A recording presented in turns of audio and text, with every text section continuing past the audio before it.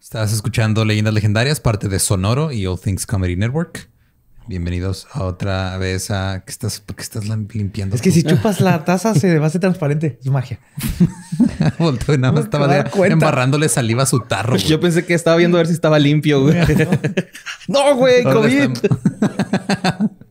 bueno, estamos aquí, ¿no? o sea, ya si, si le da uno, ya valimos madre todos. De todos modos, güey. Por, Sí, todo por bien. eso estamos en burbujas siempre. Eh, y ya me perdí. Yo estaba diciéndoles bienvenidos al episodio y no sé El qué. episodio 93. Ah, ok, sí. Y, pues, ya, ya, ya no puedo continuar con esto. güey. Pero descubrimos algo padre. Se hacen transparentes y los chupas y tal. No sé por qué. Eh, yo sí sé por qué, porque se tapan. ¿Han visto también que en el, en el vidrio, ajá, lo, lo pones tape? Como que el, Refracta la luz, ¿no? lo que pasa es de que es que es como si tuviera, está poroso, güey. Ajá. Entonces, cuando le, le pones líquido o algo más, tapa los poros y eso ya lo hace como que completa Mm. lo que le faltaba de, de vidrio. Así funcionan los tarros, que por cierto pueden conseguir en... No era un pitch para tarros en lo absoluto. No, pero creo que es, es buen momento para recordarles que es diciembre y hay esta mercancía de leyendas legendarias y pueden conseguir mercancía. Está Dricker con tazos y tazas y tarros, están chunchos y rey camiseta con camisetas. Está Master Laser con termos, está Gonao que tiene ahí su especial ahorita todavía en diciembre con los lentes y me falta uno. ¿Eran todos? Sí. Ok, Dice no, no me faltó que- ninguno. Dice producción que este, estoy bien con mi conocimiento de cómo funciona Esa es una idea millonaria, güey. Tazos de leyendas legendarias. Uf, ajá, es que iba a decir tazos y tarras, pero no se dice así, ¿verdad? No, o y pero- tazos legendarios. Tazos legendarios. Próximamente. Sí, coleccionas Sí, abrir- sí. en- ¡Ey, te cambio mi Ted Bundy por tu bueno, un álbum, ajá, un álbum Panini, güey. sí. Un Ted... ¡Uh! Sí, te doy un Ted Bundy y un Manson por la mata viejita. Ah, Simón. Vamos. No, te lo juego, ¿no? no se vale llevarlos a la orilla.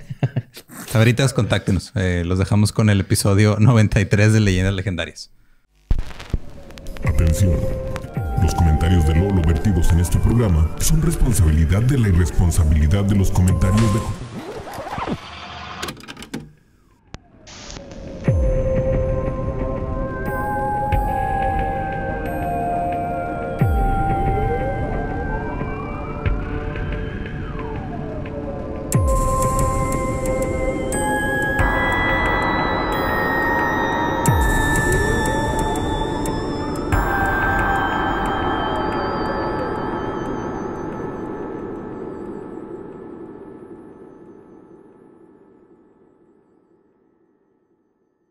Bienvenidos a Leyendas Legendarias, el podcast en donde cada semana yo, José Antonio Badía, le contaré a Eduardo Espinosa y a Mario Capistrán casos de crimen real, fenómenos paranormales o eventos históricos tan peculiares, notorios y fantásticos que se ganaron el título de Leyendas Legendarias. Estamos en otro miércoles macabroso.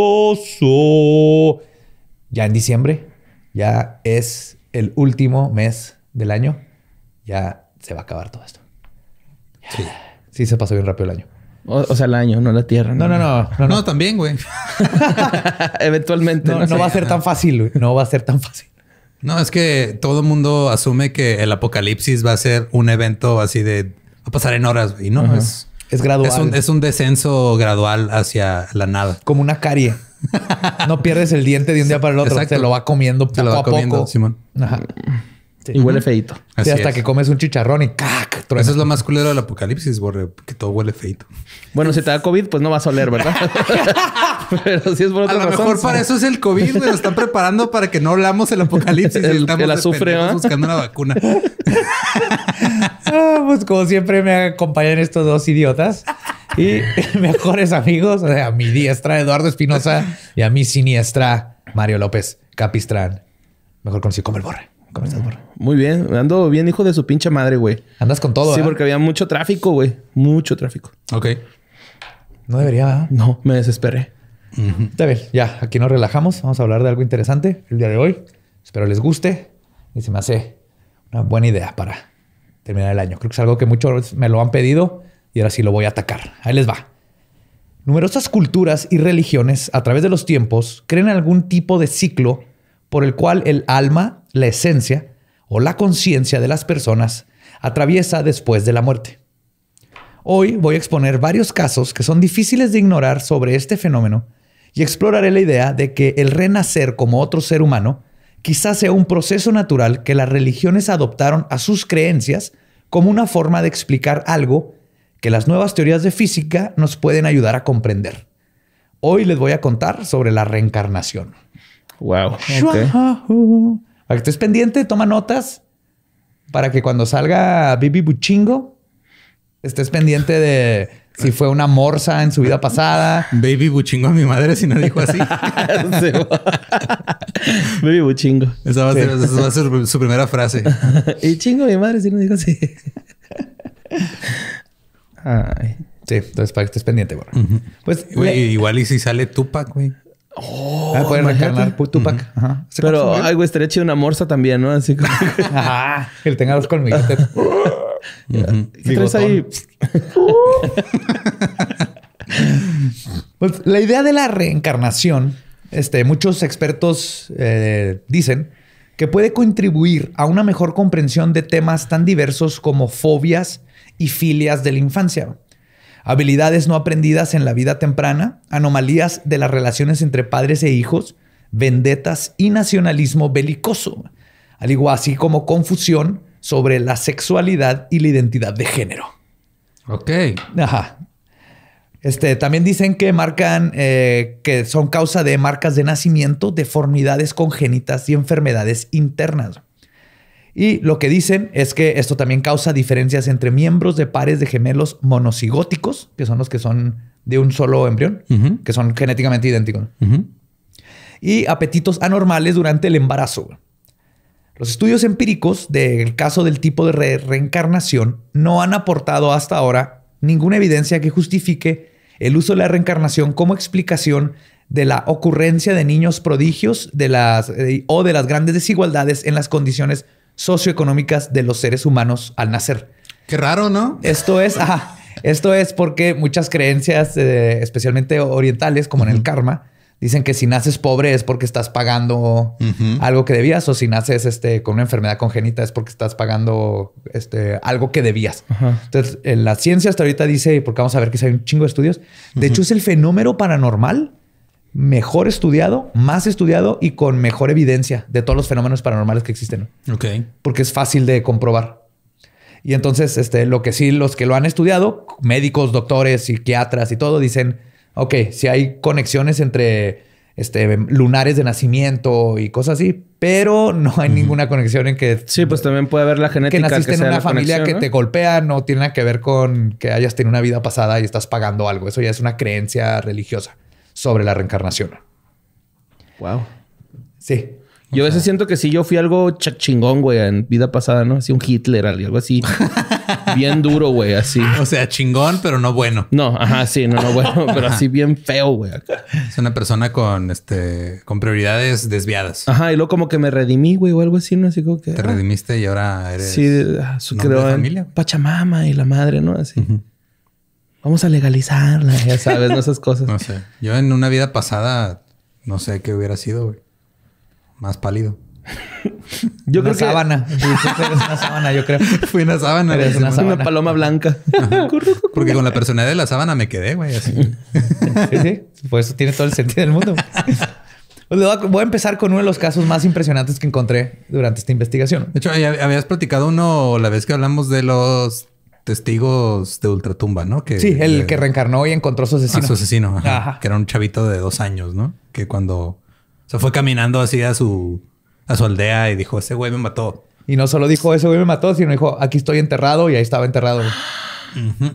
Sí. Oh, como el de la señora, ¿no? Que dice que una vez le dio a desayunar a su hijo y lo que el niño le dijo, ay mamá, este desayuno sabe lo que Diosito nos preparaba en el cielo. ¿No lo has visto ese güey? Es un meme, güey. ¿Sí sabes cuál, güey? Ay, no güey. mames. Se me olvidó poner su, esto aquí su en el hijo, guion, güey. su hijo No se llamaba. Ángel, mamón. No mames, qué coincidencia, güey. No puede ser. Wow. Pero bueno, a ver, te, voy- a contar otro caso, güey. No es tan bueno como ese, pero espero te guste, güey. No te han documentado, ¿no? Bruce y Andrea Leininger vivían en el área de la bahía de San Francisco, donde tuvieron a su hijo James. Cuando a Bruce le ofrecieron un trabajo como director de recursos humanos para una empresa de la industria petrolera, la familia se mudó a Lafayette, en el estado de Luisiana, Un clásico. Sí, güey. donde James comenzó a recordar cosas. Después de cumplir dos años, James comenzó a experimentar vívidas pesadillas que lo hacían gritar mientras dormía. El primero de mayo del 2000, su madre Andrea lo escuchó gritar. Asustado de que algo le estuviera pasando, corrió a su recámara donde escuchó a James gritando la frase, y cito, choque de avión. Perdón, es que me lo imaginé gritando. ¡Isito!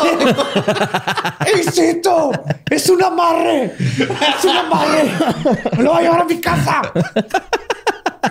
Perdón, ¿qué dijo? ¿Choqué el avión? ¿Qué? ¡Choque de avión! ¡Avión en llamas! ¡El hombrecito no puede salir!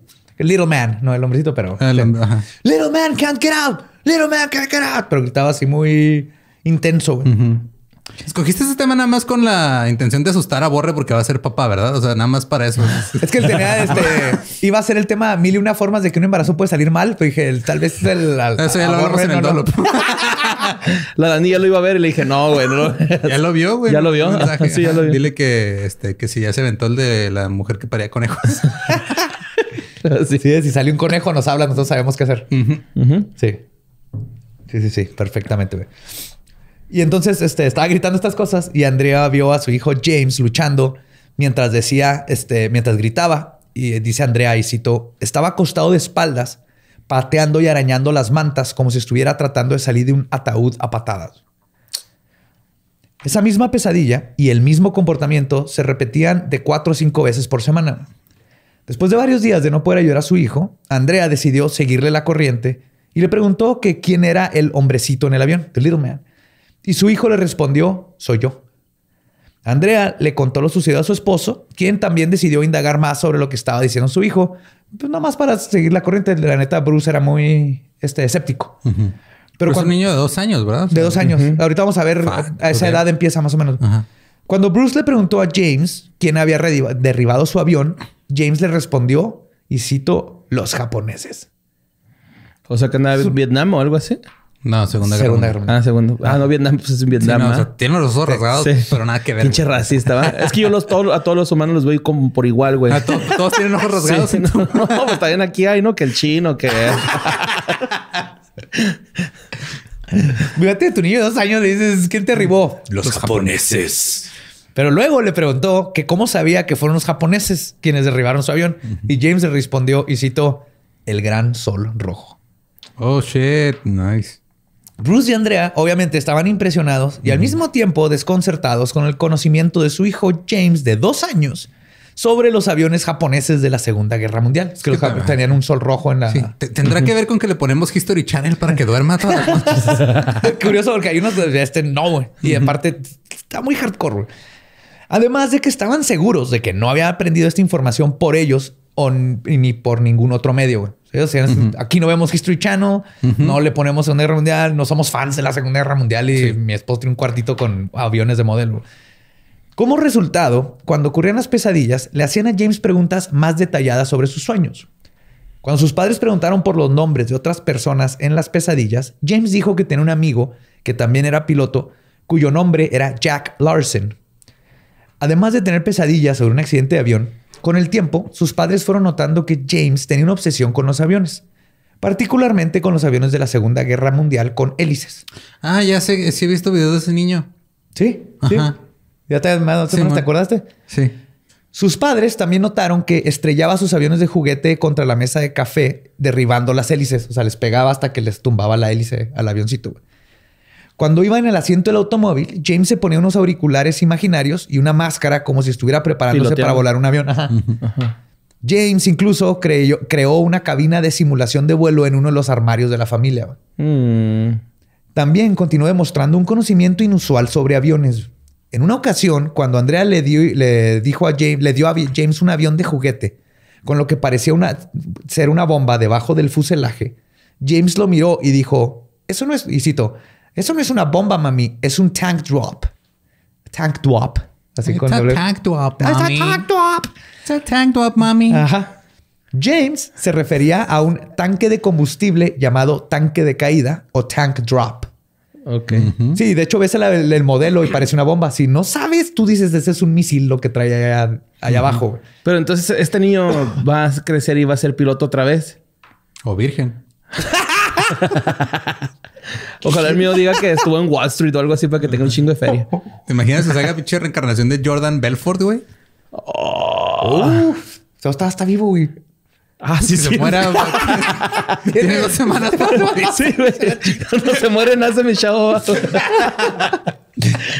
El güey dándose un pericazo. Y con, con la fórmula, güey. Con la, sí, güey, con leche en polvo. güey. El tanque de caída se ajusta a la parte inferior de un avión y, que se, y se expulsa y se deja caer cuando se gasta el combustible. Como para darles extra combustible y luego cuando no lo necesitan lo tiran para... Menos peso. Chido. Ambos padres estaban impresionados y confundidos con todo lo que su hijo hacía y decía. Pero no fue hasta que la madre de Andrea, Bobby, o sea, la abuela, planteó por primera vez la hipótesis de que las pesadillas de James podrían deberse a una vida pasada. Bobby tuvo esta idea porque estaba familiarizada con los estudios del máster en ciencias Carol Bowman, autora de Children's Past Lives, a quien los Leninger contactaron. Carol había estado involucrada en la investigación de niños que recuerdan vidas pasadas desde, los, desde 1980. Les dio valiosos consejos a Bruce y Andrea sobre cómo manejar las pesadillas del pequeño James. Carol relató que era importante escuchar a James de una manera solidaria y seguir eh, asegurándole que ahora estaba a salvo. Entonces dijo, no, no traten de decirle que son pesadillas, nomás hablen con él, que les cuente. Lo mismo que yo les digo que cuando los niños ven fantasmas. Ajá, Pero con estás bien, estás Ajá. bien, estás bien. Estás bien, no te va a pasar nada, cuéntame qué Mira, pasa. aquí estás suéltalo, con nosotros. Ajá. ajá. Guiados por los consejos de Bowman, los padres de James comenzaron a hacerle más preguntas y documentar todo. Con el tiempo, el pequeño James reveló que el nombre, el hom- perdón, que el hombre de sus pesadillas también se llamaba James, que volaba en un avión llamado Corsair y que el avión que volaba despegó de un barco y que el nombre del barco era el Natoma. Sí, súper preciso, güey. Sí, ahorita vas a ver. Además, dio los detalles de que el Corsair tenía un problema en que se viraba hacia la izquierda al despegar y tenía la tendencia a que se le reventaran lo- los neumáticos al aterrizar. Y que además el avión tenía un ala de gaviota distinta a los demás para reducir la altura del tren de aterrizaje. güey. O sea, detalles súper pinches Sí, amigos como el Tank Top. Sí, que un morrillo no sabría, güey, ¿no? No. O sea, de dos años. No saben, diría mi mamá, no saben ni limpiarse la cola. sí, Literal. Además, James sabía que los aviadores estadounidenses daban nombres de niña a los bombarderos japoneses y nombres de niños a los combatientes japoneses. Por ejemplo, James dijo que los caza japoneses se llamaban Sikhs y los bombarderos les llamaban Betis. Al investigar estas declaraciones, su padre Bruce se sorprendió al descubrir que James había acertado en absolutamente todo. Ujú, sí, pues. En una ocasión, la familia estaba viendo un programa del History Channel sobre la Segunda Guerra Mundial. Poco a poco, pues, por eso le empezaron a comprar avioncitos y le, lo Sí, ponen a ver. ¿no? para ir sacando la Y le encantaba. Ahí estoy yo. Ay, güey. Ah, ahorita va a ser un caso parecido. No mames. En el, en- le estaban viendo este del History Channel y imagínate que tu hijo te salga granadero reencarnado. Vete a la verga, güey. Sí me agüitaría, güey. Sí. Que, que- yo traté de ma- matarte, papá, ¿no? Así, oh. Y otra esta vez sí, sí lo lograré. Ay, acá, güey, no. Lentamente desde adentro. No. Ay, güey. Pues estaban viendo el documental y dijeron ahí que los Corsairs derribaban aviones japoneses. El narrador dijo que los aviones japoneses derribados eran Zeros, les, les llamaban Zeros. El pequeño James corrigió a ese narrador diciendo que los aviones japoneses no eran Zeros, sino Tonys. Este de dos años, así, no, Zeros, they're Tonys. Stupid motherfucker. Bruce y Andrea no sabían lo que era un Tony. James explicó que Tony era un luchador más pequeño que un Zero. Una vez más, con la investigación, sus padres encontraron que esa declaración hecha por su hijo pequeño era precisa. Oye, nada, que la cabina que tenía el niño en realidad era un cuarto para escribir documentales de History Channel, güey. y el güey se emputaba porque los ponían mal. sí. Tenía un subreddit bien, donde era bien, bien mamón corrigiendo a la gente. No, mira, en realidad este es un Tony. Los Zeros tienen una cabina súper comprimida de aire. No mames, no opines si no sabes. Así. Esos güeyes. voy por mis Fruit Loops y hay que cambiar el pañal. Para apoyar a su hijo y su pasión por los aviones, lo llevaron al Museo de Aeronáutica Lone Star, que está en Houston, Texas. James, quien para este tiempo todavía no iba al baño por sí solo, inmediatamente identificó un avión tipo Corsair y empezó a caminar a su alrededor como lo haría un piloto haciendo su revisión antes de despegar. Para este tiempo, Andrea estaba abierta a la posibilidad de que su hijo era en efecto la reencarnación, o por lo menos tenía las memorias de un James Houston que fue piloto de la Segunda Guerra Mundial. Pero su esposo, Bruce, se mostraba extremadamente reacio a considerar que los recuerdos de James pudieran derivar de una encarnación pasada. Más que por una idea de que esto no fuera posible, sino que el conflicto que tenía era con sus profundas creencias cristianas. Ok. Entonces se lo veía, no, esto no va con mis Sí, creencias ajá. religiosas, no puede ser. No puede ser. Ajá. Lo descartaba, ¿no? Lo Sí. descartaba a pesar de toda la evidencia que estaba viendo. Aún así, comenzó a investigar las declaraciones hechas por su pequeño hijo James. Y así fue como descubrió que de hecho había un portaaviones en la Segunda Guerra Mundial llamado Natoma Bay, que operaba en el Pacífico. Luego, Bruce obtuvo un libro sobre portaaviones que pelearon en el Pacífico. Cuando Bruce y James lojearon juntos y llegaron a una sección sobre la batalla de Iwo Jima, James le dijo a su padre que fue ahí, en la batalla de Iwo Jima, donde su avión fue derribado y se estrelló. Resulta que el Natoma, en efecto, había dado soporte a la Marina durante la invasión de Iwo Jima. Por si esta información no fuera suficiente para convencer a Bruce de que su hijo definitivamente estaba mostrando un fenómeno extra normal, el pequeño James comenzó a dibujar escenas de batalla que mostraban aviones de hélice y bombas explotando y los firmaba James 3. O sea, dibujando con crayones acá. Sí, escenas de batalla en Iwo Jima. güey. What the fuck, güey. No, o sea, eso, eso está más raro que tú dibujando a Freddy Cougar. Sí. Freddy Cougar. a Freddy Cougar. Y hombre Lolo. A lobo. Ah. Lobo. ajá. Y Friday. Y Fra- Friday Night- Friday the 13th. Sí, eso está mucho más raro, güey. El Badía. Director de cine de terror. Reencarnado. Luego le dio a sus muñecos de G.I. Joe nombres como Bill, Leon y Walter. Nombres que sus padres nunca mencionaron, nombres que ninguno de sus amigos tenían. O sea, no saben de dónde sacó Bill, Sí, todos, llamaban, y Walter. todos sus amigos se llamaban este Iker, Santiago, Brian. Tupac. Ey. Aún, Amaru. aún renuente, pero curioso, Bruce decidió indagar sobre toda esta nueva información que su hijo le había dado, intentando descifrar si era solo el producto de una gran imaginación. Así que se dedicó a buscar en archivos y registros militares, donde encontró que la tripulación del Natoma Bay se juntaban paulatinamente y decidió asistir a una de estas reuniones. Viajó a la reunión de Natoma Bay que tuvo lugar en la ciudad de San Diego, en California, el 11 de septiembre del 2002. Ah, Justo mira, un, año, después, del- de, lo de las torres. Un año después de qué pasó? Sobrevivimos el Y2K. Eso es lo que. I don't know, güey. Estuvo muchas nubes con figuras de Satanás, ¿no? En eso. Ah, claro, un chingo. sí. Chingo. Sea, en la reunión, Bruce se enteró de que 18 pilotos del portaaviones Natoma habían muerto durante su servicio en el Pacífico. Uno de ellos se llamaba James Houston. ¿Cu- ¿Cuántos, Jr.. cuántos murieron? 18. 18. Ah, son un chingo, ¿no? No más del portaaviones, sí. 18 O sea, pilotos. ¿Valieron verga sin hacer nada o...? No, no, durante No, no, toda la guerra. la Ah, guerra. ya, ya, ya. Ajá. Durante toda la guerra, 18. Pensé I- que iban en el portaaviones y le- a todos les dio diarrea crónica, güey, y se murieron. Se Eran los comieron- 40.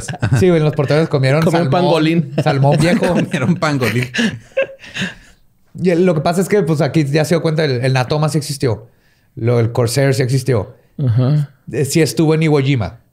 Sí se murió gente que estaba... O sea, todo va quedando perfectamente con lo que su hijo explica, güey. Menos lo de Bill Lyon y este. Espérate. Ahí va.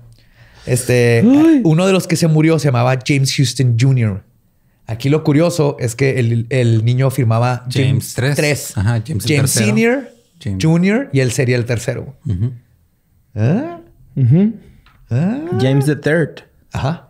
Bruce también se enteró de que James Houston fue el único piloto que murió en la invasión de la batalla de Iwo Jima el 3 de marzo de 1945. Luego llegó ¿El casa y le único? dio un bachón a su hijo. Estás bien pendejo, güey. A ver, ¿cómo que el único que se murió? Con la lamparita, ¿no? Ahí no, cabrón, no luces ahí, es aquí, güey. Aquí, aquí ponme la luz. Así, no, este güey, pobrecito. ¿Por qué no puedes reencarnar en un güey que tenía un corazón morado, güey, un corazón púrpura? A ver. No, no, no. Tuviste que reencarnar en el pendejo que se cayó, güey. que le dio diarrea crónica por el pangolín, güey, ¿no? Está la verga, güey. Pues también aprendió que Billy, Leon y Walter Todavía nació y había fracasado en la vida. güey. Llegó como fracasado. Seguro nació por cesárea. Soy un perdedor. Sí, es como remover un tumor, ¿no? La cesárea, güey. Es lo mismo, el mismo procedimiento. parásito. Eres un para, un para, también aprendió que Billy, Leon y Walter eran los nombres de tres aviadores de la Marina de Natoma Bay que habían muerto antes que James Houston Jr. Oh, shit.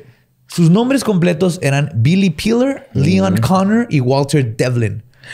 Además de este dato, resulta que el color del cabello de cada muñeco coincidía con el color de cabello del aviador fallecido. güey. No mames. Billy Peeler tenía cabello oscuro, igual que su muñeco. Este, Leon Connor era rubio y Walter Devlin era pelirrojo. Y, y les puso los nombres del color. Además de ellos, Bruce también descubrió que Jack Larson, el amigo de James Houston, ¿se acuerdan el que mencionó? También había existido y había sido piloto en el Natoma Bay. Todos los involucrados comenzaron a ayudar a Bruce a recopilar más información. O sea, todos los de la Marina dijeron, ¿What the fuck? Sí, pues sí. Y fue así como dio con Jack Durham, John Provost y Bob Skelton, otros pilotos del Natoma, que fueron testigos del momento en que el, av- el avión de James fue derribado. Y mencionaron el detalle curioso de que una bomba antiaérea le tumbó la hélice al avión. Y eso fue lo que lo tiró. Por eso el Little Man no podía salir al momento. Y por eso le quitaba las ajá, hélices Le a quitaba todo. las hélices. Y estaba atrapado tratando de quitar el vidrio de su avión. mientras no se murió al caer. Se da de haber ahogado cuando Ajá. el avión se hundió. güey.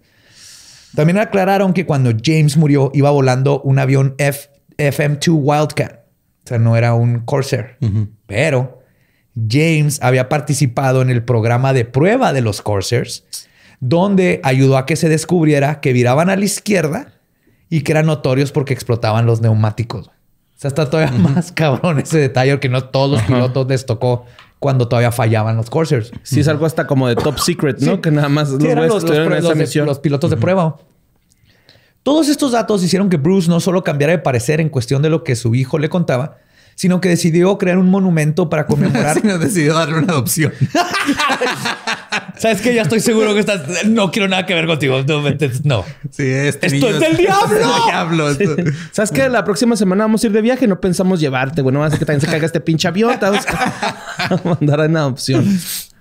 No, Lo que hizo es que este, creó un monumento para conmemorar a los que pelearon en el Natoma Bay Mm. y que habían muerto en acción. Este monumento fue inaugurado en el Museo Nim- Nimitz en Fredericksburg, Texas. Ah, mira, hemos pasado Hemos por ahí. pasado por Fredericksburg. Está chido ese... ¿Está bonito? Estás en Alemania. Ajá, es un pueblito Órale. alemán. Puro Texas, inmigrante antes de llegar alemán. a Austin. Está muy bonito. Pasamos de noche, pero se ve muy Casas bonito. así con. Simón de. Teja. Y todos los nombres eh, de las Pórtico, calles eh. y todo. Estás en Alemania. Ajá. Simón. Muchos veteranos del Natoma Bay asistieron a esta inauguración, incluyendo a Bob Greenwald, a quien el pequeño James le dijo por su nombre en el primer momento que lo conoció. güey. No mames. Sea, lo Bob. vio y le dijo, hey Bob. Ajá. Cuando Bob le preguntó que cómo se veía su nombre, James le dijo que lo había reconocido por su voz. Ah, ay, acá- ¿No te acuerdas del table, güey? Cuando fuimos acá jóvenes. Ah, sí, ya están todos viejitos. es lo que te iba a decir, que es que si los habían presentado, entonces sí se conocieron, o sea, tuvieron contacto. O sea, Greenwald conoció al James Jr., el que se murió.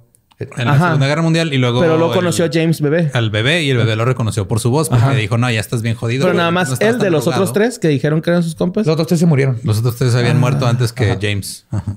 No, es que eran Leon, Bob y Era Walter. Walter, Leon y otros, ¿no? Sí, ellos se murieron. Sí, Y luego otros habían tres. Este dije- es Bob Greenwald. Este es otro. Ah, ok, ya, ya. Este es otro Sí, que los sirvió tres. con James. Ajá. Sí, no, los otros eran los que se juntaban, que hacían sus reuniones de veteranos. Simón. Y lo reconoció Lo por reconoció la voz. por la voz. Y de hecho dijo, en una parte el James dijo que, se- que por qué se vean tan viejitos todos. Oh. O sea, él se acordaba de, como niño, ¿no? Él se acordaba de sus amigos, pues de su edad joven, Ajá. cuando él murió. Por su parte, Andrea Leninger investigó sobre la familia de James Houston Jr. y encontró que tenía una hermana que aún vivía. En una llamada telefónica con ella, el pequeño James pudo correctamente decirle que era su hermana, que le decía Annie, que tenía una hermana llamada Ruth, que tenían cuatro años de diferencia uno con el otro, los tres. También pudo recordar detalles más íntimos, como que su padre era un alcohólico violento que había ido a rehabilitación, que su hermana Ruth se había mortificado cuando su mamá se consiguió un trabajo como sirvienta. Y que ella y James habían estado posado para una serie de pinturas por el mismo artista llamado Darren y que las pinturas ah, las habían hecho para regalárselas a su mamá. Ya con eso, o sea, la tipa está De si eres tú, güey. llorando de no mames, ¿cómo puede saber este niño? ¿Cómo puede saber esta familia esto? O sea, Ajá, sí, nada, pues, no aunque se lo enseñado al niño, ¿cómo chingados supieron detalles eso- tan íntimos? Eso era personal, ajá. Pero eso no es lo más curioso de este caso.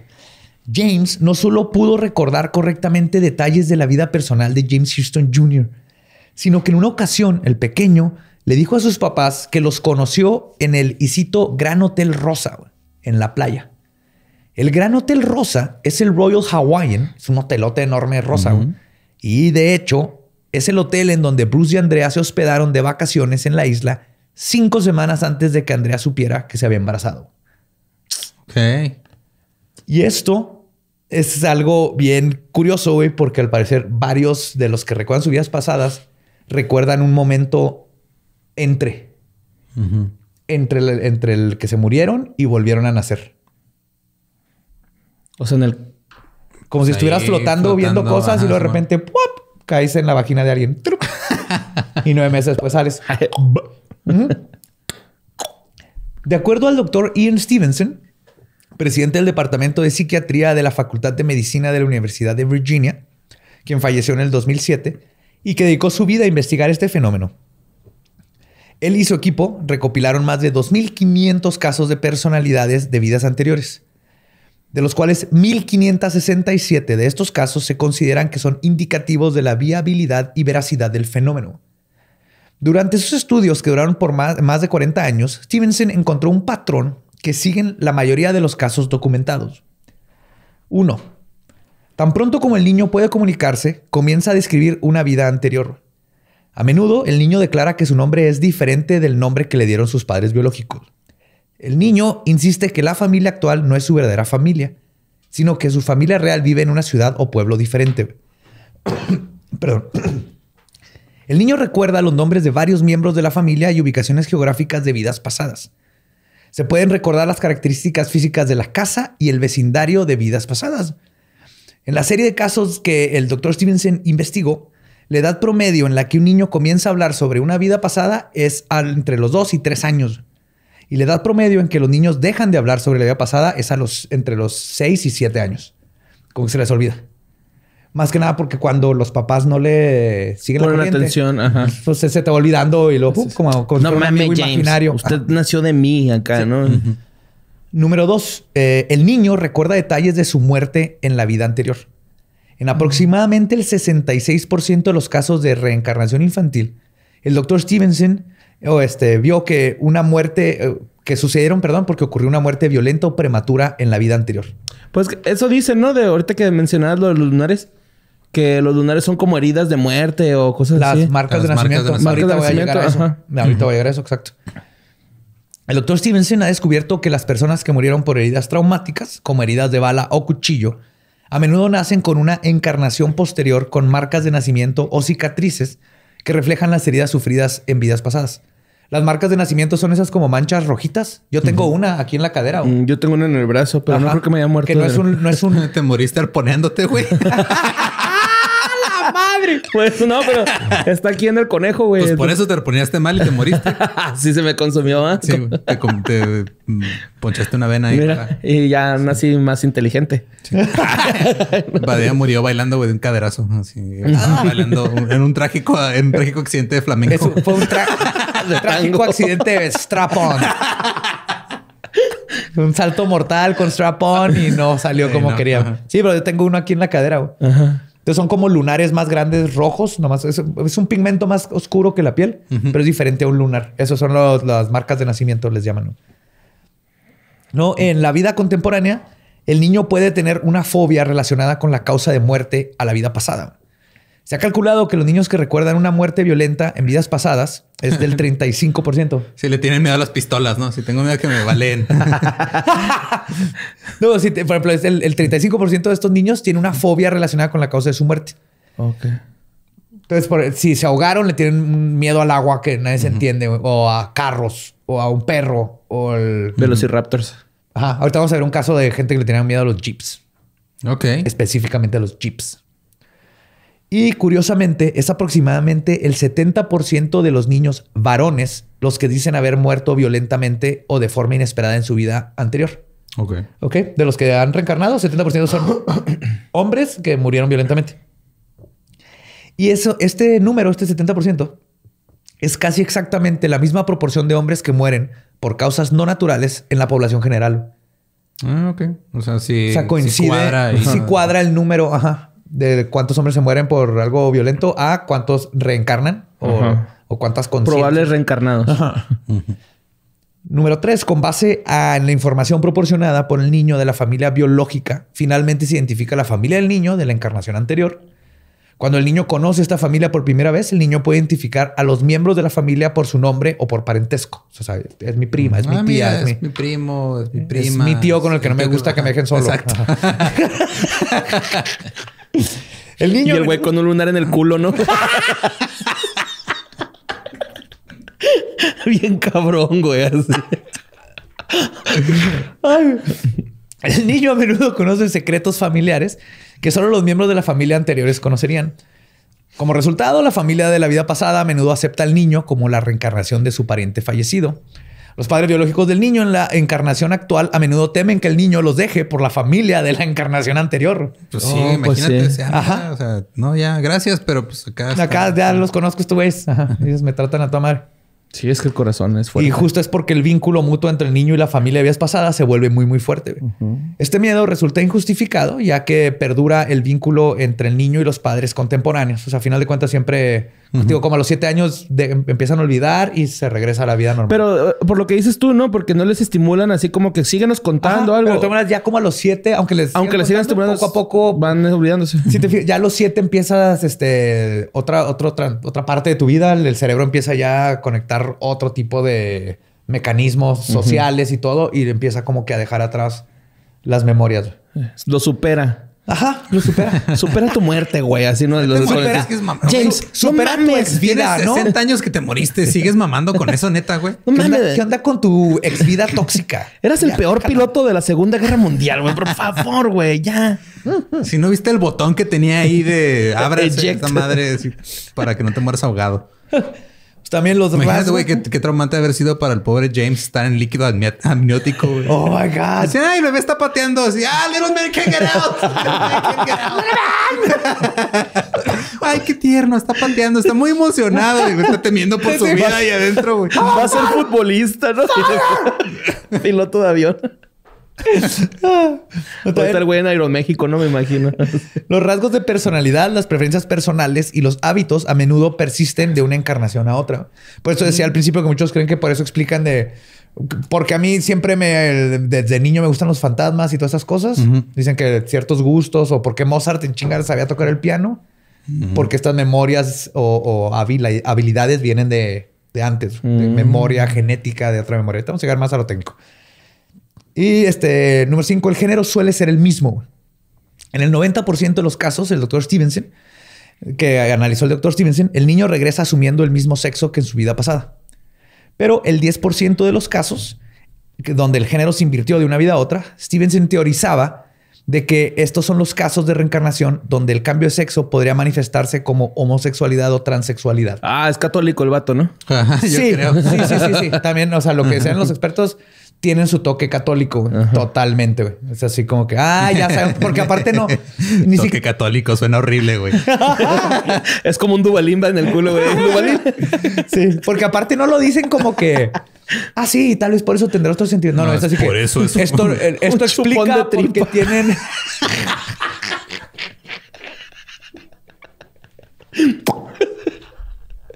Ah, la verga, a ver si no nos tumban, güey. Este. Ay, no es cierto. Ay, Bueno, pero sí, estos doctores tienen su. Pues es que son de este continente. güey. El, otro es que los casos de Stevenson muestran que la apariencia física puede permanecer igual que una en, de- en una encarnación a otra. güey. O sea, el- el- ven- hay muchísimas fotos. se parecen un Se poco, parecen ajá. físicamente muchísimo en Sí. muchos casos.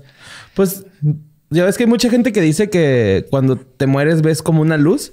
Y hay otros que dicen que es cuando va saliendo del, del ducto panochal, no sé cómo, cómo se llama. Yo sé que va a ser papá, güey, pero Bienvenidos a Anatomía Femenina con Mario López Capistán. bueno, o sea, pues que va saliendo, Nos ¿no? quedamos Otra- en eh, la cavidad panochal. ¿Qué, qué, qué pasa ahí? Bueno, Pues sí, no, o sea, mucha gente dice eso, güey, acá que nadie no. dice eh, Sí, güey. No. jamás. güey. La No, primera güey. vez que el- No, pero- dos palabras han sido usadas juntas en la historia de la humanidad. güey. No, pero cuando dicen Es de que que... dijo cavidad, dijo ducto, güey. Como Ah, si ducto. fuera un sistema de aire acondicionado. puede estar caliente o frío, güey. A ver, ya, cabrón. No, Niños, no- no se dice así, ¿eh? ¿Por qué están viendo los niños eso, güey? Pero no, güey. O sea, dicen que... No, sí, sí, sí. Cuando te estás muriendo ves una luz y al nacer también, ¿no? Es como DMT. Ajá, entras en un túnel. Sensación a al morir y al nacer, güey. Es muy similar esa Sí, sensación. esas ya son, todavía no se explica todo eso, pero sí, sí he oído que digan, que digan eso. Dándome el avión. El ducto Se va- panochal, güey. No mames. Pues que no sé cómo se llama. ¿Vaginal? ¿Ducto vaginal? No es un ducto. Pues, cabrón. ducto. Ah, bueno, pues que ahí va saliendo el morro, güey, así, ¿no? Sí. Saludos, O amor. Sí, sí, sí. Necesitas platicar con tu esposa para que te, te diga qué va a pasar, para que no te asustes. Es que yo tengo instrucciones demasiado específicas, güey. Para sea- que no confundas ductos. güey. Creo que es lo más importante. ok, ok. Pues las relaciones entre dos personas se pueden renovar mediante la reencarnación. Uno de los casos de Stevenson que demuestran semejanza física involucra, además de lo otro, este, involucran a gemelas birmanas que fueron hermanas en vidas pasadas. Ellas formaron parte de un estudio que involucró a 31 pares de gemelos cuyas vidas pasadas fueron validadas objetivamente.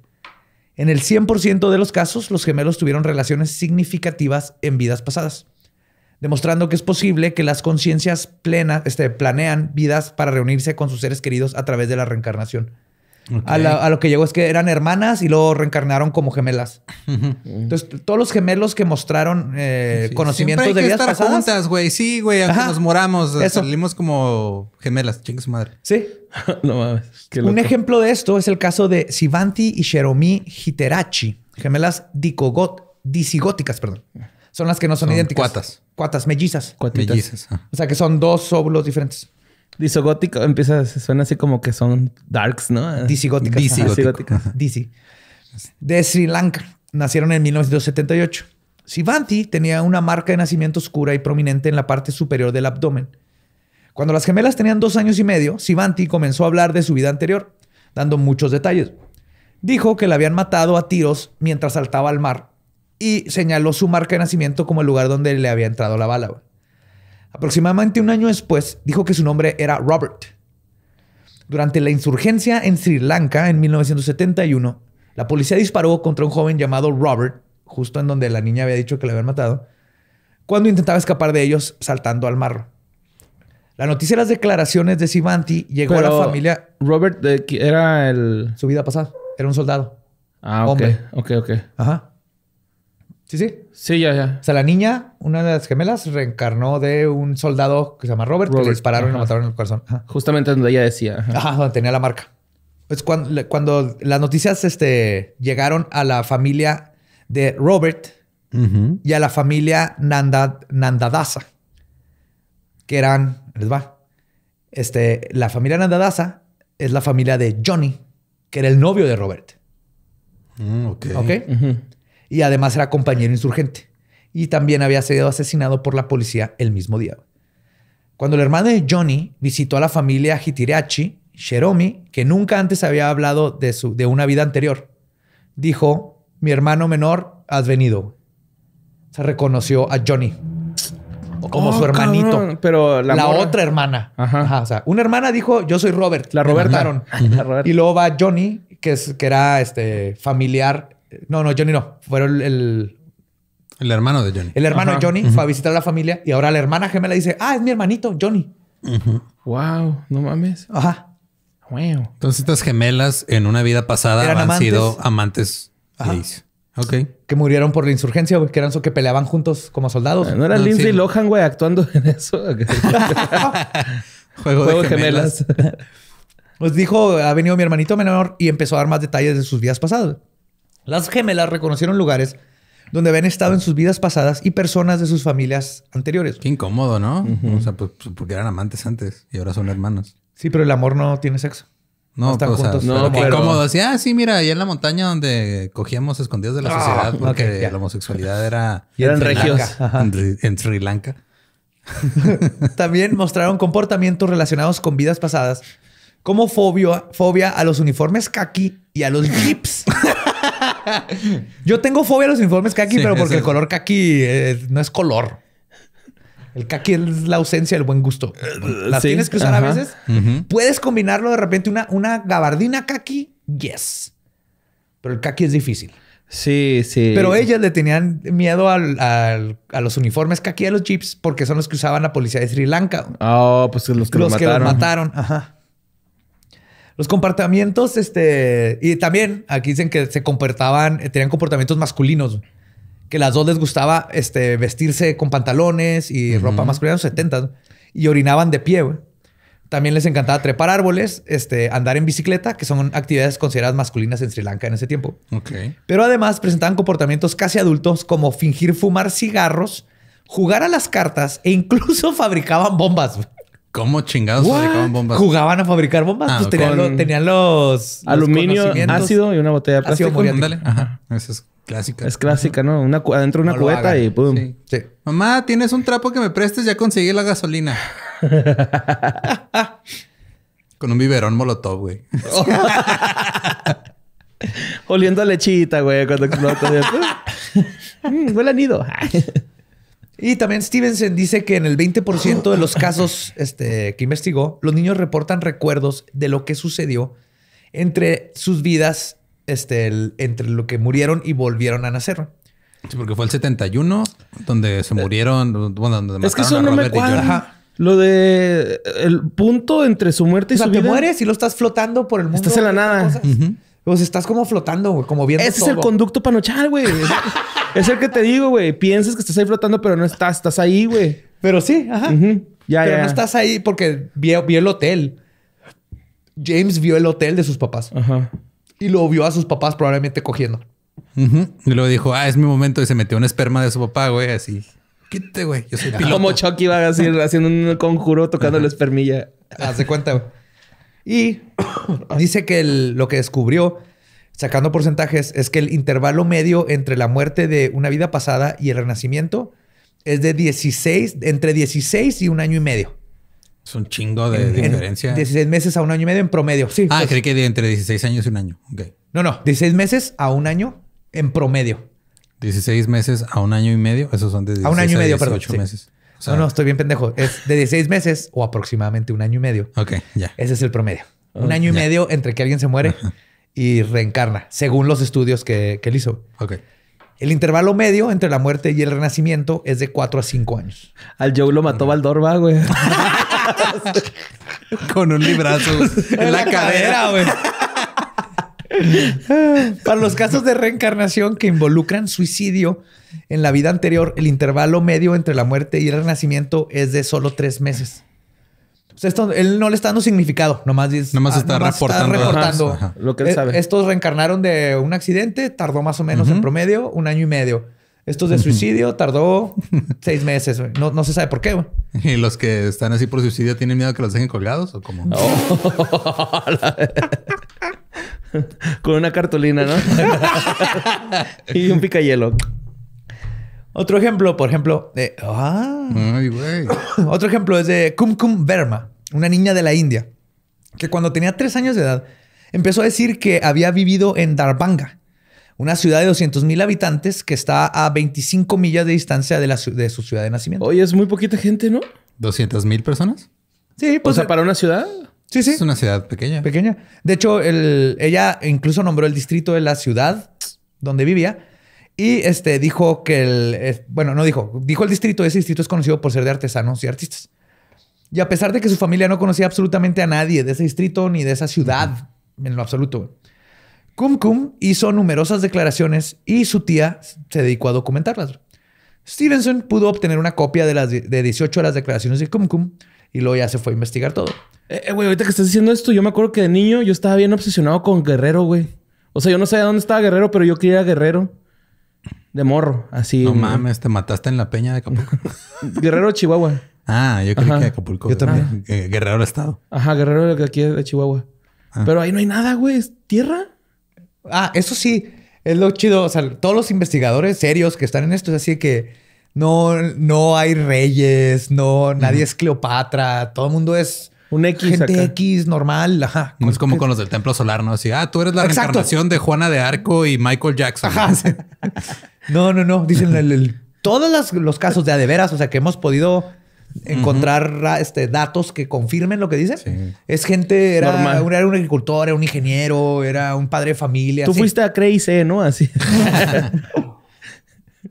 Ah, pues dentro de los detalles que dijo Kum Kum, incluían el nombre de su hijo en la vida que estaba describiendo y el hecho que trabajaba con un martillo. El nombre de su nieto, el pueblo donde su padre había vivido y detalles personales como tener una caja fuerte de hierro en caja, en casa, una espada colgando cerca del catre donde dormía y una serpiente mascota a la que le daba leche de comer. ¿Leche? Todo fue confirmado. ¿Sí Ah, toman leche las serpientes? Pues en la- aparentemente. Órale, qué loco.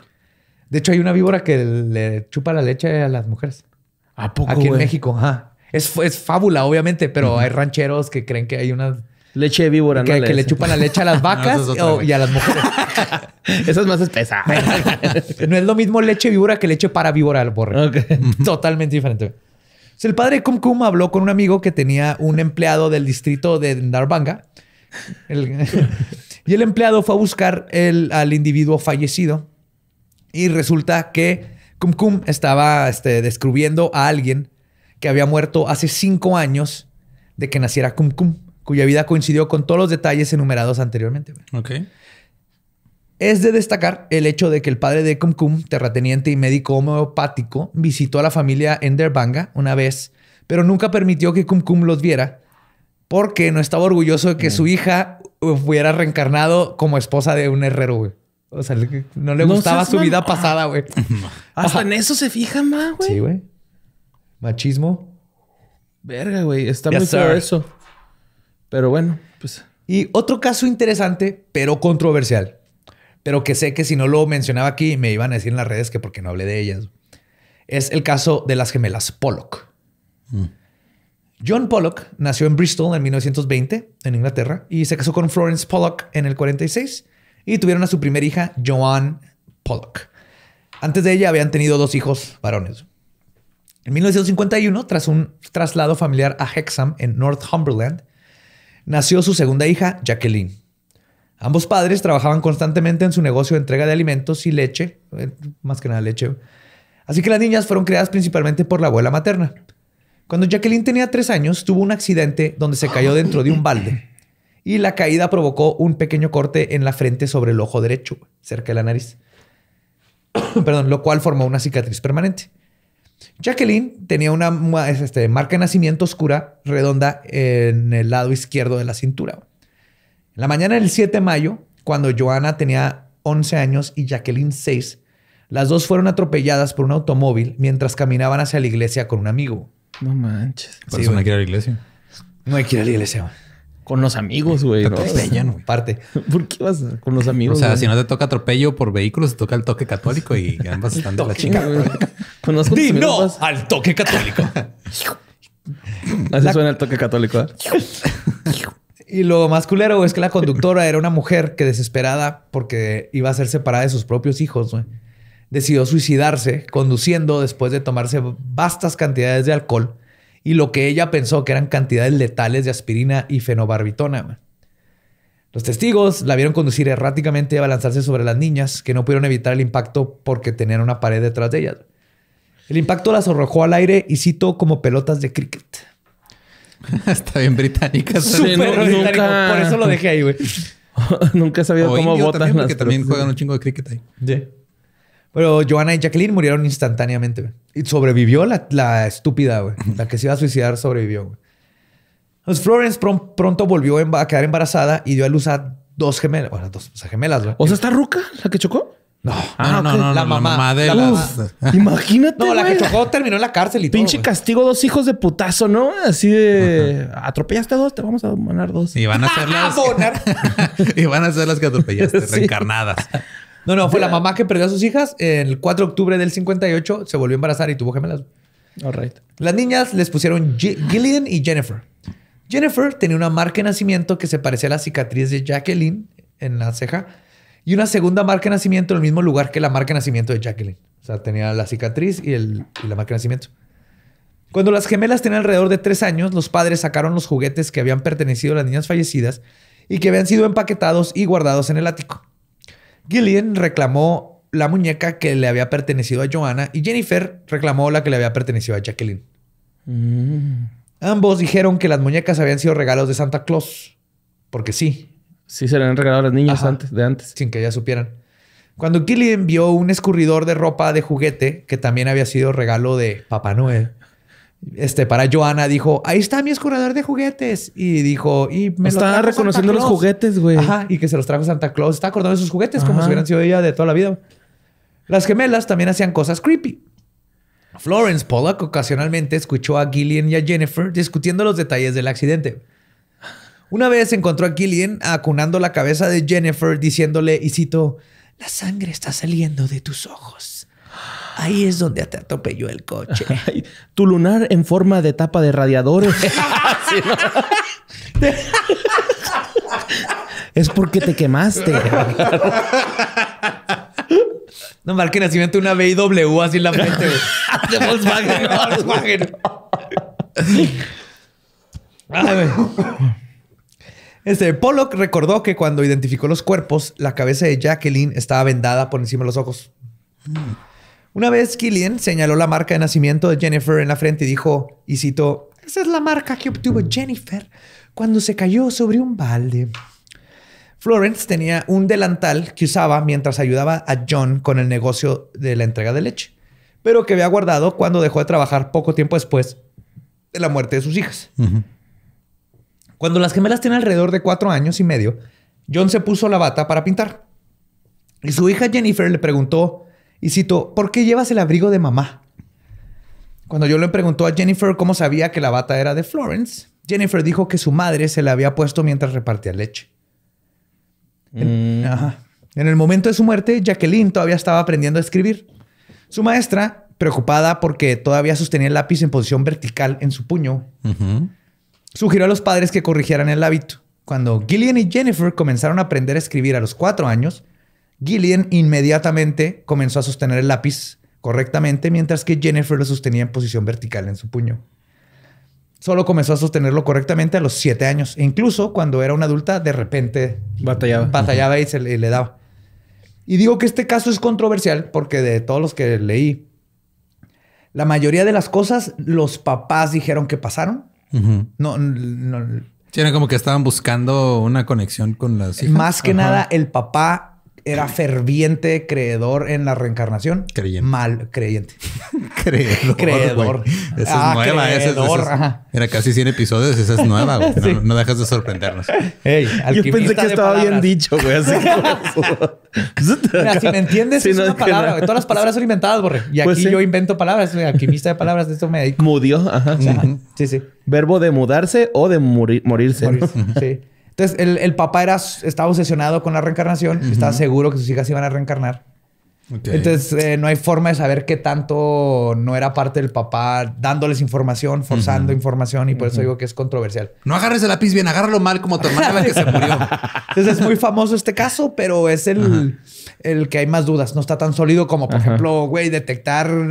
Esa es una válvula B32 y está mal Es- puesta eso en un Hitomi mamón, güey. 37. Sí, güey. Eso del, del James está muy mamón. Sí, James cállate, Baxter. James. Vete a comer tus frutilupis. James Baxter.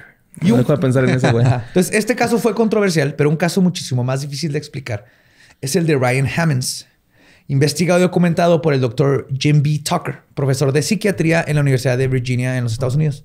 Tomó, de hecho, estaba en el mismo departamento que ¿Stevenson? que Stevenson. Ya después, ajá. Y de hecho, Stevenson dice que estudiaba mucho más este, gente en, en países donde creen en la reencarnación. Ajá, Dice, ¿y este no. dónde no? ¿O Eh, eh, no, encontró, dice que encontró casos de reencarnación en todo el mundo, menos en la Antártida, porque en la Antártida no se han investigado. Pues En porque todo el ahí no mundo se muere la gente. o Sí, sea, este pingüino antes era foca. el pingüino. Así no son los pingüinos. No, por eso. Antes Es era una foca. foca, güey. Era antes No capté foca. el chiste. ¡Wow! Soy la reencarnación de un pendejo. Y las focas empollando huevos, ¿no? No, lo que dice es que él- era más fácil para él que le contaran las cosas en lugares donde la reencarnación eh. es normal y, que en Estados Unidos o Europa, así, donde los papás batallan más, con, con- por ejemplo, son católicos y huyen a esto, pero entonces él encontró casos en todo el mundo. güey. Pero un caso que les estaba diciendo que es más difícil de explicar es el de Ryan Hammonds, investigado y documentado por el doctor Tucker. A sus cuatro años, Ryan comenzó a despertarse en las noches también, igual que James, gritando y sosteniendo su pecho diciendo, y cito, soñé que me explotó mi pecho en Hollywood. No. What? Sí. Los padres creyeron que solo eran pesadillas, hasta que una noche Ryan les dijo, y cito, mami, creo que yo solía ser alguien más. También dijo que recordaba una gran casa blanca y una piscina que estaba en Hollywood, a muchas millas de su casa de Oklahoma. No saben ni dónde empezó con Hollywood, pero dicen, bueno, lo vio en la tele o lo que sea. Dijo que tenía tres hijos, pero que no recordaba sus nombres y luego comenzó a llorar. preguntando a su madre Cindy una y otra vez que por qué no se podía acordar del nombre de sus hijos. Un día, mientras Ryan y Cindy hojeaban un libro sobre Hollywood, Ryan se detuvo en una foto en blanco y negro tomada de una película de 1930 llamada Night by Night, Noche tras Noche. En la foto hay dos hombres en el centro de la imagen que están como enfrentándose, como que están a pelear, y hay otros cuatro hombres rodeándolo. Ryan inmediatamente señaló a uno de los hombres de en medio, de los cuatro que están alrededor, Ajá. y dijo, ¡Eh, mamá! Ese soy yo. Sí, Que no, dijeron, no, perdón. Eres un extra neta, güey. No puede ser un pinche. te digo. no puede ser este. Un Clark Gable, stuntman, güey, de jodido, güey. Sí. Digo, ese soy yo. Y lo dijo, ah, y él es George. Hicimos una película juntos. Pero no dijo película, dijo, we did a, a picture. We did a picture. A picture. Porque entonces decían, moving pictures. The moving pictures. Sí, pues eran pictures en secuencias rápidas. Sí, exacto. Mira, aquí hay un cineasta. Cineasta no. Victorio Camacho. Y dijo, sí, ahí es eso. Yo me encontré, me encontré, le decía a su mamá. Entonces Cindy, la mamá, comenzó a investigar y aprendió que el hombre de la foto era Martin Martin. Qué feo nombre. El, otro Martin era con Y, güey. Martin Martin. Martín Martín, Ajá. la segunda con Y, sí. De hecho, es nombre falso. Ahorita vamos a ver. Es, Ah, es nombre de Showbiz. Imagínate que te llamaras doble. José José serías. Antonio Antonio. O Antonio. Ajá, Tony Antonio. Tony. Eh, Tony Tony. Tony, Tony. Sí, se oye como algo. Sí, como. Hey, Tony. Suena Frank Sinatra. musical. Ajá, sí, así como de. Ajá.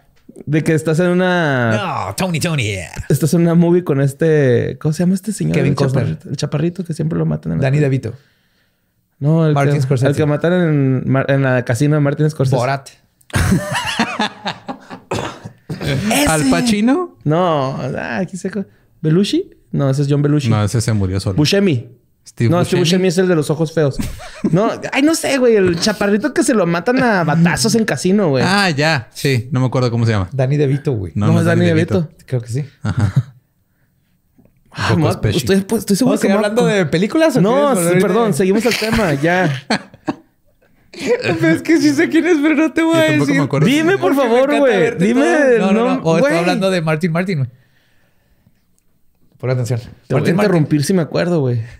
Dejar de poner atención. Era un extra en la película que trabajó durante los 30 y 40. Después de esta revelación, Cindy buscó a algún experto en internet y es como dio con el doctor Tucker. John Belushi. No. Ya dijiste John Belushi, güey.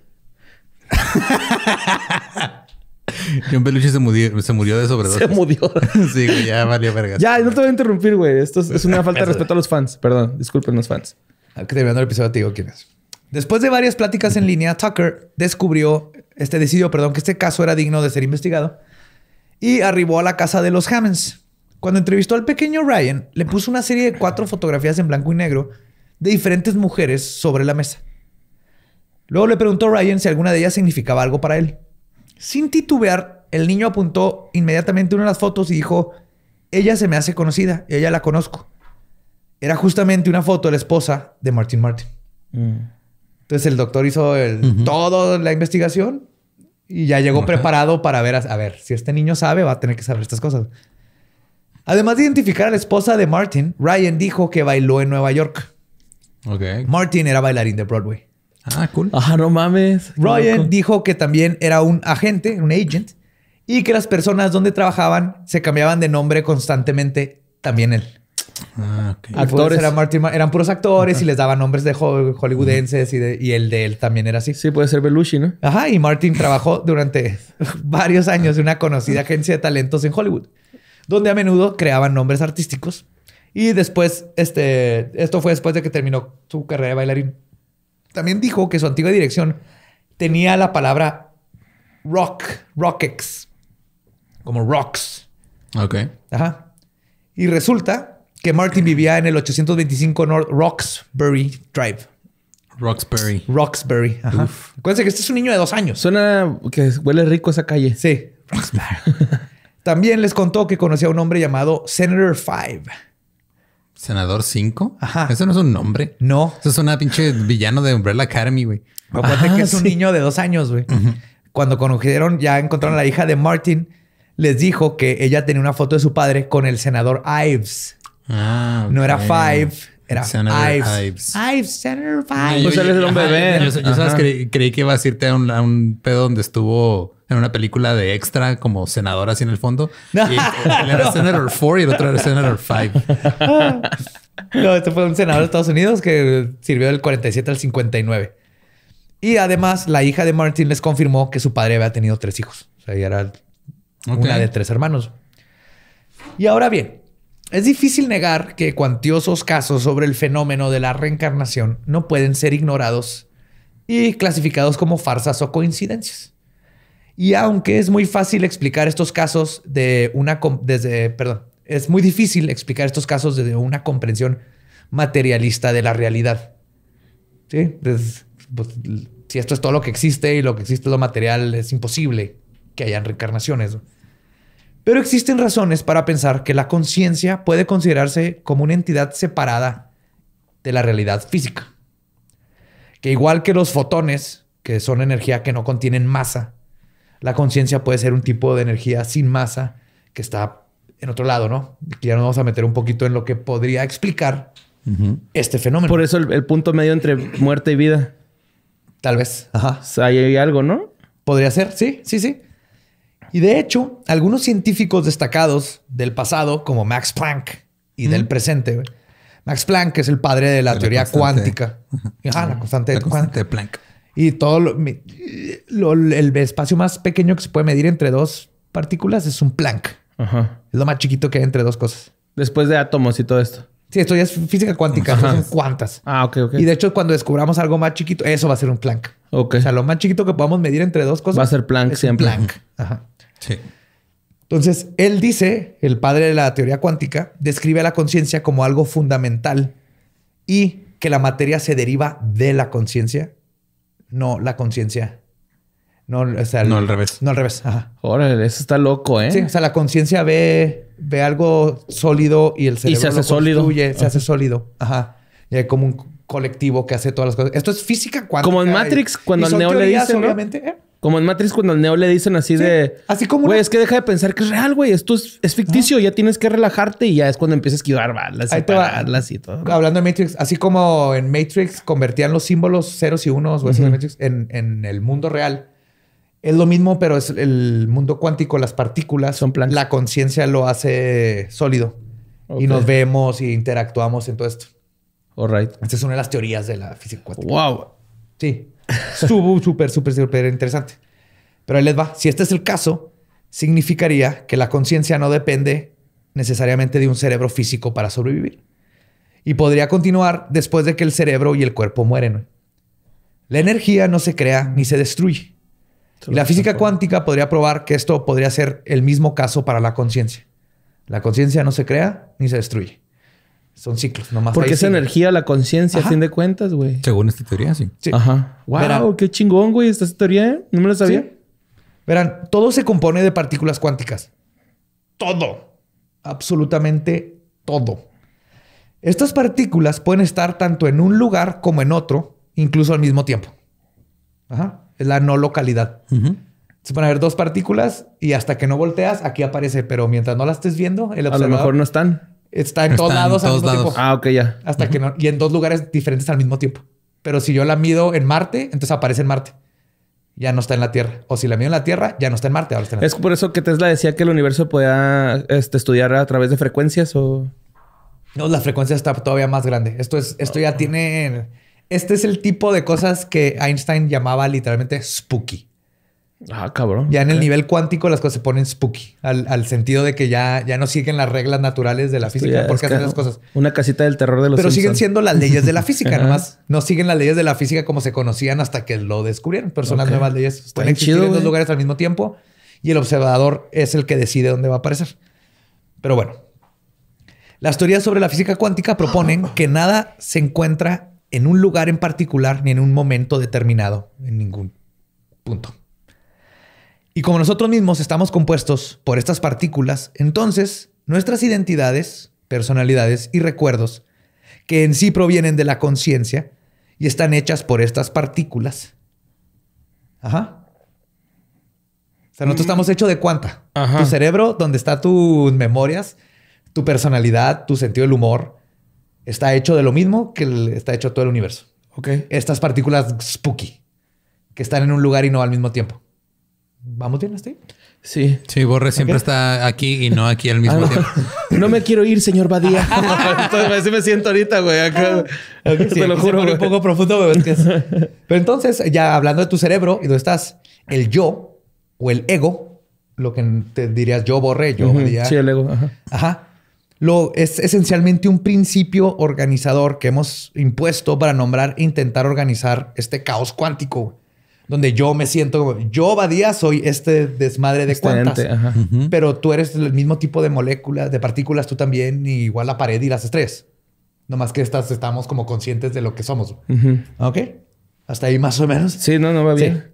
Por lo tanto, es teóricamente posible, de entre los fundamentos de la teoría de cuerdas, la teoría de M, este, el- todo, todo lo que se está descubriendo ahorita, que podemos ser nosotros y no nosotros, que podemos ser en un momento nuestro ego y en otro ser el ego de alguien más. Ah, cabrón. Está loco. Pero cuando se pierde el ego, por ejemplo al morir, es que es la parte que organiza las partículas y les da el sentimiento del yo, probablemente ya no nos damos cuenta de que somos otro ego. ¿sí? O sea, es, es la misma. La Y misma como que lo desprenden misma- a otra- va otro pedo. Y se quedan, ajá. Se van a otro lado, güey. Nomás Ay, que es güey. difícil como ser humano soltarte y decir, esta conciencia luego puede ser otra cosa, güey, Ajá. sin que yo sepa que es otra cosa, a pesar de que lleva toda mi información de todo lo que yo fui, güey. Salvo en algunos casos donde parte de la información que se formó cuando estamos vivos queda implantada en la nueva conciencia. Fíjate que copias de un USB a otro Ajá. un sistema operativo y se le quedan ahí ciertos archivos. Sí, güey. como cuando formatean algo de computadora Ajá, y luego queda siguen archivos ahí. Y lo de- recuperas, ¿no? Ajá. Hay programas que dejaron ahí el desmadre Sí, y nada lo más puedes encontrar. reorganizas la, la información. No lo estás borrando, simplemente estás... Sí, tú sabes cuando... Desbaratando. Sí, acá. no hasta que lo reescribes es cuando se pierde. Wow, está chido. Sí, y en, la, el te- el- en, en la- en esta teoría, eh, toda, esa- toda la información que has, que has ganado tú, nomás por vivir, por las experiencias, porque se queda y nomás se mueve, pero cuando llega a otro lugar, porque a veces puede que se vaya y seas otra cosa. güey. Ajá. Güey, Va a reencarnar en un pepino. güey. Sí, de hecho. Pico Rick. pues, de hecho, viéndolo, ¿qué iba a hacer? Que, güey, neta, nunca... La gente luego dice que yo vengo fumado a los programas, pero nunca he venido un- a un programa fumado. Estoy, la- estoy así de No raro, güey. necesitas porque... Ver, Güey, este hubiera no. venido fumado a este, güey. Hubiera venido fumado a este, neta, te lo Este juro. Está bien avisado, güey. chido, güey. Pero bueno, viéndolo de esta manera, de lo que he estado explicando, ¿eh? la reencarnación es posible dentro de un punto de vista científico racionalista. güey. Ajá, sí. Porque no va en contra de leyes de la física, no, No, nomás nada tenemos más que es- cambiar nuestra forma de verlo. Y, es, y por eso es que yo digo que tal vez muchas culturas de antes vieron el fenómeno. A lo mejor no y tanto por la fe, "Ah, ¿verdad? Es la otra vida. No, O por la las religión, religiones ajá. le pusieron un- una connotación divina. Ajá, sí. Connotación todavía, pero no, es, es, Hay es un probabilidad fenómeno real. físico cuántico Ajá. normal. La energía no se crea ni se What destruye. the fuck? La conciencia no. Esto es teoría, me lo, lo estoy. Sí, exacto, es teoría, no. Es no. teoría de física cuántica con mis ideas de lo que está pasando y, y- y cosas que he leído, ¿no? Pero creo que es una forma de explicar el fenómeno de la reencarnación, porque con estos casos que vimos es de que, what the fuck. No podemos negar que sí hay niños que recuerdan cosas que es imposible. Estoy... Sí. Y entonces, para mí, o tal vez, a veces al morir, terminas haciéndote parte de una estrella, A veces parte de un cuervo y a veces eres el trapeador favorito de tu abuela Mm. o de una abuela. Pero de vez en cuando, parte de nuestra información cuántica puede ser accesada por el nuevo recipiente del que formamos parte. Así como en la computadora que se quedan los archivos. Recipiente. Somos recipientes de conciencia, de información. Toppers. Ajá. Somos toppers. y a veces ese topper, güey, le pones este jamón y luego te sabe como al mole que el tuvo antes. Ajá. ¿no? Y, y dices, este topper tuvo mole. What? Sí. Güey, acabas de, de, eh, Sí. hacer todo en un ejemplo, güey. ¿Por qué dijiste todo ese choro? Hubieras hecho, hubieras hecho eso, güey. Por eso, por eso te tengo aquí a ti, Borre. Tú me aterrizas. Perdón, perdón. Los toppers de Tú me Schrödinger, güey. No aterrizas. sabes si van a saber a chile rojo o van a saber a pescado viejo. Sí, a veces está rojito y lo abres y nada, es arroz y ya no sabe, ya no sabe a rojo, güey. Nomás se quedó ahí el pasado. Sí, güey, muy cabrón. Y pues esa es las varias historias y todo lo que se sabe e investigué sobre la reencarnación. No, Pues ahorita todo el mundo está con el cerebro licuado, te lo juro, güey, porque yo estoy así. Bueno, no todo el mundo es como yo, pero así me siento, con el cerebro licuado, así un poquito.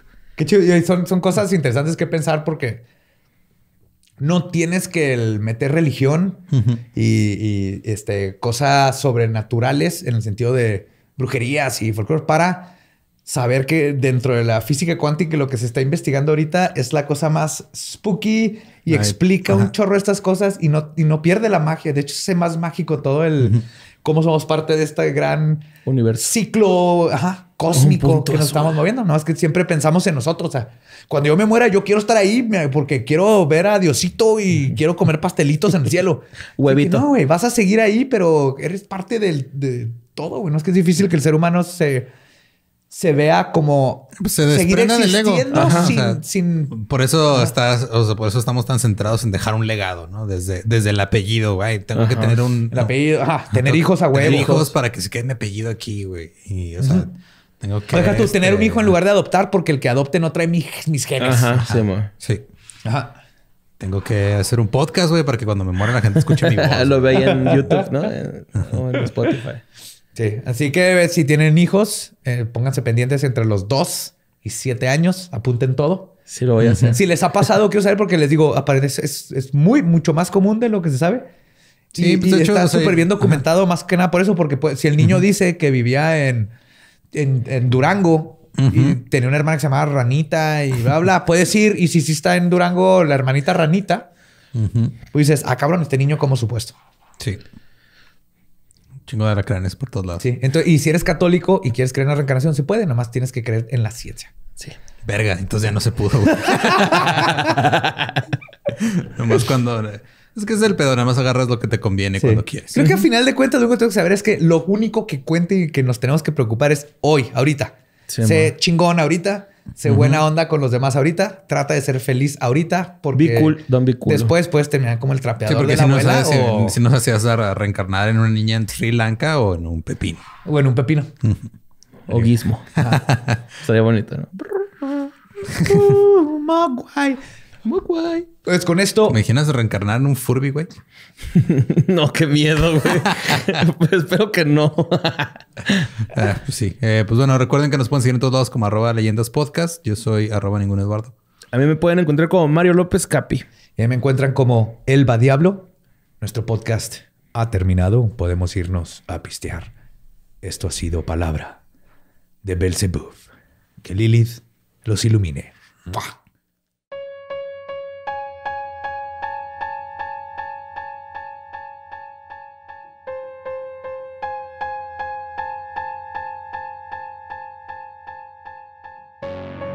Y ese fue el episodio de la reencarnación. ¿Con qué, ¿En qué quieres que reencarne tu hijo si tuviera que reencarnar? En un águila.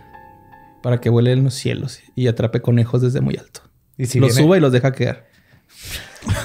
Bueno, con ¿has la visto los videos de las águilas que, que hacen eso, pero con... Tortugas, ¿no? No, con las... Con, con los chivos. Con así, los chivos. De, de las montañas, güey. O sea, que están los chivos subiendo las montañas y lo llegan la- el águila y nomás lo tira así. Luego ya cuando se mata, va por los restos, los lleva a su nido What? para Y alimentar sus tenemos ese sociópata en la bandera. güey, sale matando, era lógico, güey. Güey. sale fin. comiéndose una víbora, ¿no? Tenemos muchas cosas.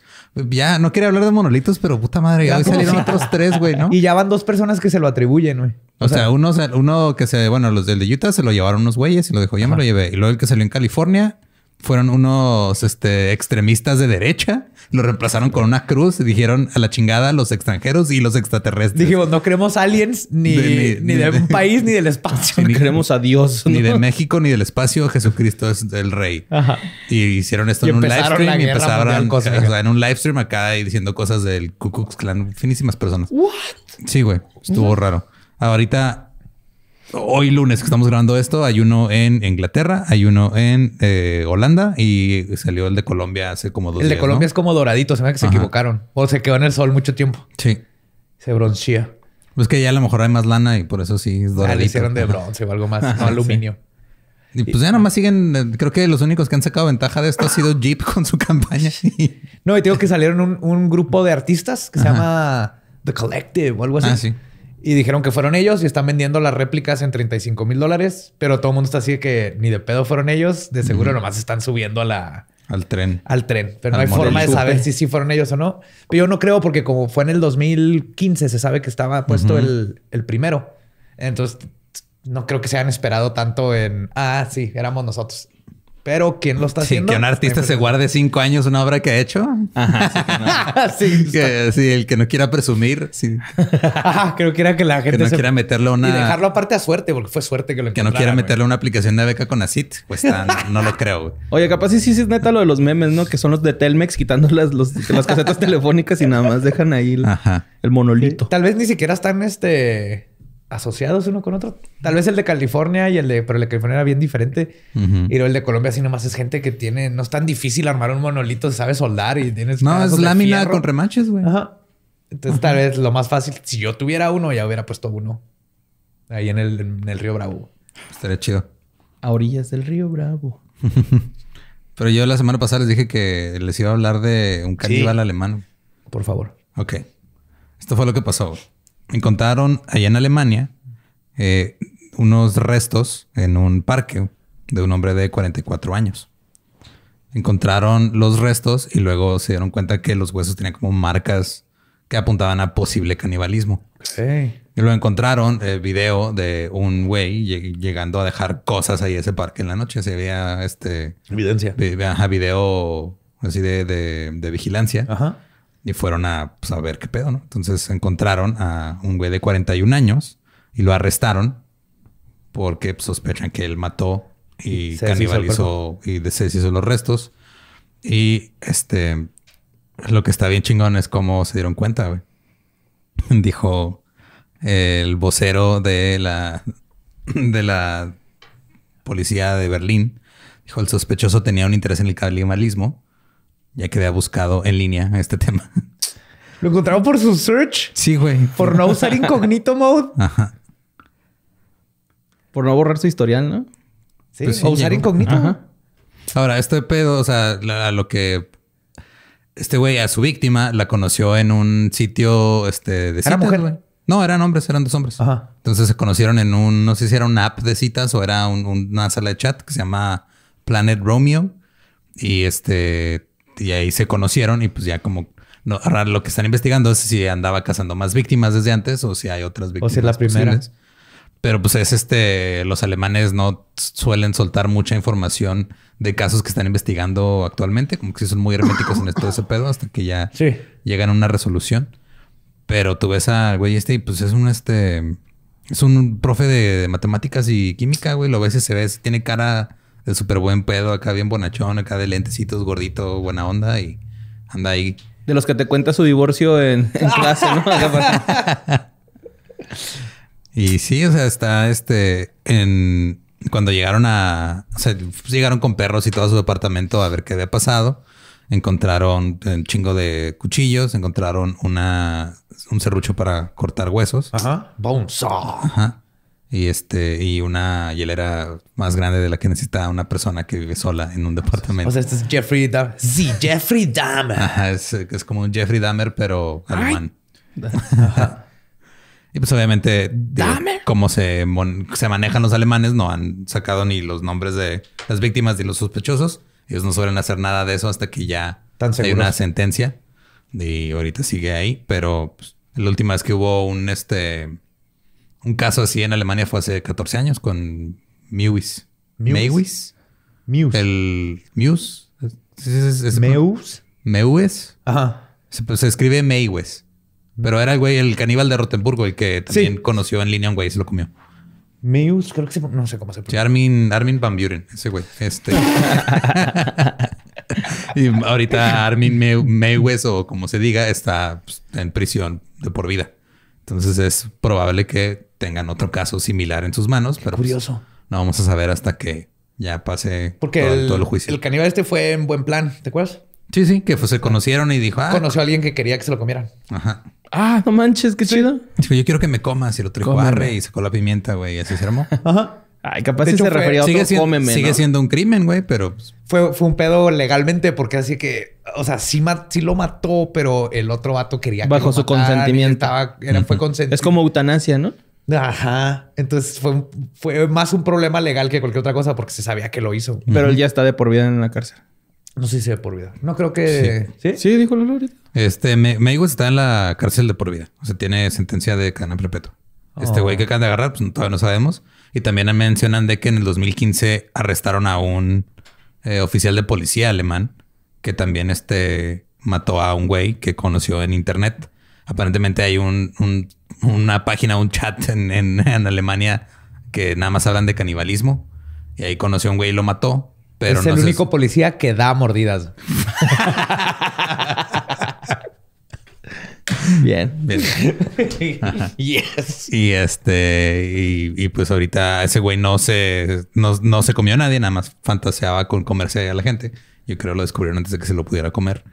O no tenía con qué. Pero, pero sí, aparentemente hay muchos caníbales en, En Alemania. en está Alemania. Está, está raro. Debe tener que ver algo con la sociedad. Qué raro, ¿no? Que los alemanes sean así, güey. Así como que ataquen a otras personas. O sea, es muy raro, güey. No, no hay registro de cosas en los últimos em, 70 años.